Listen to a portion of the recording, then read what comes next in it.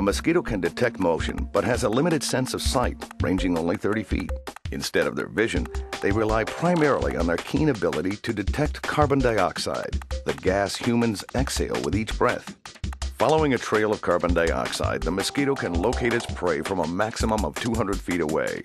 Once in close range, mosquitoes use short range cues, such as scents emitted from human skin, to zero in on their target.